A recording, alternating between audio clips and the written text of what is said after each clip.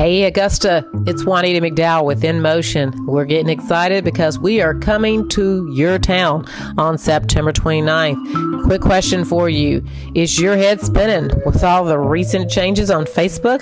Well, we're going to cover them all on September 29th. This week, Facebook made several changes, and a lot of them I'm really, really thrilled about because they're going to make your Facebook experience much smoother. In fact, one of the most important changes is the improved friends list. You now have smart list, you have a close friends and acquaintance list, and you have a better suggestions list. We're going to talk about all these on September 29. Right now, I want to do a quick tutorial for you because you may not be using list. I'm going to show you how to create a friends list. So I'll see you on the other side. As you can see, I've made it to Facebook and I am actually on my home page. And on the home page, in the left column, you see something called list. And new to Facebook this week is a close friends list. This list allows you to add your best friends to a list. And you'll see everything they post in your newsfeed. You can even jump straight to a view of your newsfeed that only shows their photos and news.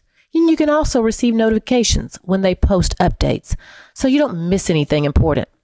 In addition, you have the same capability with family.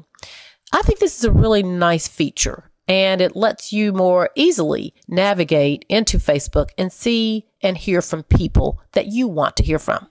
But right now, I want to actually help you create this list that will help you better manage your prospects, your sellers, and your buyers on Facebook. So now what I want you to do is go to list and hover where you see more. Give more a click. And you see something here in this column called create a list. So we'll go ahead and create a list. Give the list a name, and I'll call this list Augusta Agents. After you type in the name of your list, hit create list. Now you want to click Add Friends. And you can start choosing friends for your list that you've just created. Now, after you do this, of course, you can also start typing in like the last name if you want to grab someone with the last name. And after you've selected all the people, say done. And now you've created a list called Augusta that you see over here in the left hand column. Now, at any time you want to delete a list, click Manage List, and you can say, let's delete this list. Now, Facebook is going to remind you this is permanent and can't be undone. So I'll confirm. And now Augusta Agents is gone.